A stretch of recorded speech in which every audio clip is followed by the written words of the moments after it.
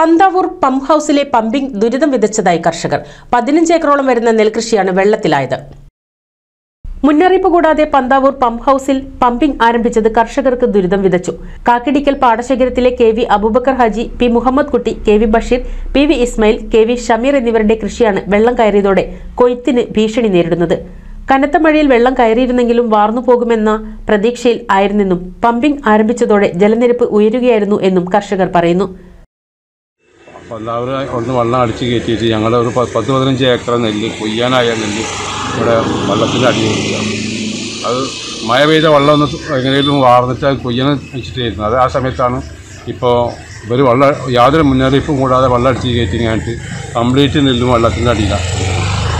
ഇതിനൊരു പരിഹാരം ഞാൻ കൃഷിഭവനിൽ ഇന്നലെ ചെന്ന് വിവരം പറഞ്ഞപ്പോൾ ഓഫീസിൽ പറഞ്ഞ് ഞങ്ങളെല്ലാം അതിന്റെ ആൾക്കാർ അത് പിന്നെ പുഞ്ചിറ ആൾക്കാരാണെന്ന് പറഞ്ഞു. ഇന്ന് ഞാൻ പിന്നെ പ്രസിഡന്റിനെ കാണാൻ വേണ്ടിയിട്ട് പഞ്ചായത്തിൽ പോയപ്പോൾ അവിടെ സെക്രട്ടറി അമ്മ ആരാ മരിച്ചിട്ട് അവിടേക്ക് പോയിക്കാണ്. ആരുമില്ല ഇല്ലാതെ തിരിച്ചു പോകുന്നു ഇത് ഞങ്ങൾ ഇനി ലക്ഷക്കണക്കിന് ഉറപ്പിയ ചിലവാക്കുന്നത് ഇത് ഇനി കൊയ്തെടുക്കാനും പറ്റില്ല. ഒന്നും ചെയ്യാൻ പറ്റില്ല. ഈ വെള്ളം തുറന്നു വിട്ടല്ലാതെ കൊയ്യാതെ പറ്റില്ല. എന്താ ഒരു പരിഹാരം ഇതിന്റെ ആൾക്കാർ നമുക്ക് ചെയ്തു തരണം. അതല്ല എന്ത് പരിഹാരം വേണ്ടി. ഞങ്ങളെ ഈ അതല്ല പുഞ്ച മാത്രം ഉണ്ടാക്കിയാൽ മതി. ഇവിടെ കൃഷി ഉണ്ടാക്കേണ്ട ഞാൻ വിവരം പറഞ്ഞാൽ ഞങ്ങൾക്ക് തെങ്ങ വായ എന്തെങ്കിലും മക്കാലം സ്ഥലത്ത്. ഇങ്ങനെ ഇങ്ങനെ മനുഷ്യരെ ഉപദ്രവിക്കേണ്ട ആവശ്യം.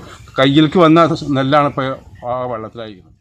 സംഭവം ചൂണ്ടിക്കാണിച്ച് വിവിധ വകുപ്പ് മേധാവികളെ കണ്ടെങ്കിലും പരിഹാരമുണ്ടായില്ലെന്നും ഇങ്ങനെയെങ്കിൽ കൃഷി നിർത്തിവെക്കേണ്ട സാഹചര്യമാണ് നിലവിലുള്ളതെന്നും കർഷകർ പറഞ്ഞു. N C V news Ponnani. Electronics home appliances എന്ത് തന്നെ വാങ്ങാൻ ഉദ്ദേശിച്ചാലും ഞാൻ നിങ്ങൾക്ക് സജസ്റ്റ് ചെയ്യുന്നു L G best shop L G best shop associated electronics Tirur Edappal Manjeri.